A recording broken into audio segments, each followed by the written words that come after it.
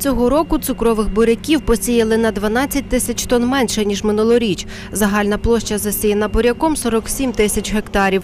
У ці дні аграрії активно збирають солодкий врожай. Викопали майже 50% цукрових буряків.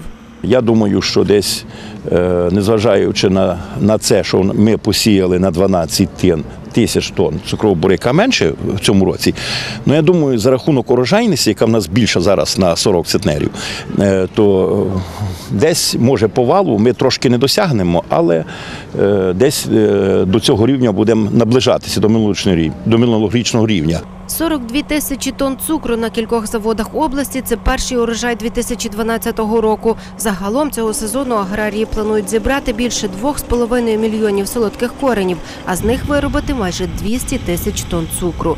Такий урожай в кілька разів перевищує потребу області, розповідає Андрій Хома. Тернопільщині на всі потреби необхідно приблизно 40 тисяч тонн цукру в рік, решта – на експорт. Перше Україна в цьому році продала майже 200 тисяч тонн цукру. Ніколи такого не було.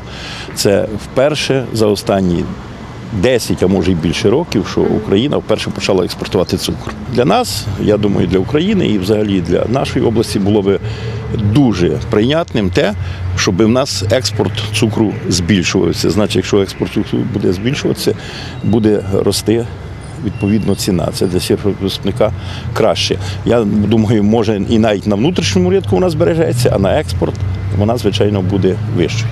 Цього року, порівнюючи з попередніми, ціна на цукор не буде високою, запевняє Андрій Хома. Прогнозована вартість кілограма цукру цієї осені сягне 6 гривень.